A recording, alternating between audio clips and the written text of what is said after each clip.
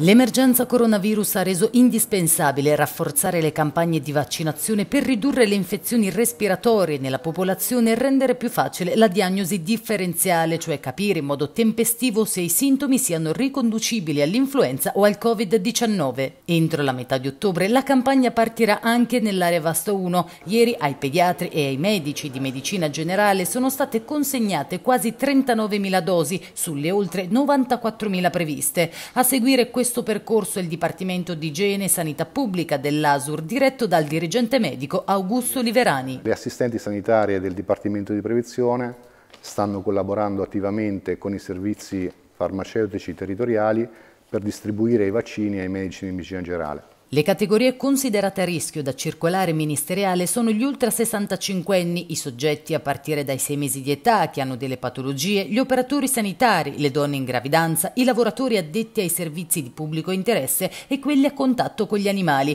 Quest'anno però la normativa, sia nazionale che regionale, ha individuato altre due categorie. I bambini dai 6 mesi ai 6 anni e gli adulti dai 60 ai 64 anni, anche senza fattori di rischio. Ciò serve per estendere appunto l'offerta della vaccinazione, limitare la circolazione virale laddove i bambini sono spesso eh, una sorgente di infezione importante. Chi dovrà definire le priorità di somministrazione? Sono i medici di medicina generale ovviamente che hanno in carico i pazienti a stabilire eh, un ordine di priorità nell'erogazione dei vaccini. Ovviamente avranno eh, la priorità i soggetti che hanno delle condizioni patologiche di rischio più importanti. Oggi sul tema si è svolto un incontro con la Regione proprio per definire alcuni aspetti dell'imminente campagna vaccinale anti-influenzale. Dovrà essere individuata una data precisa eh, per tutta la Regione, noi presumiamo intorno al 12 ottobre.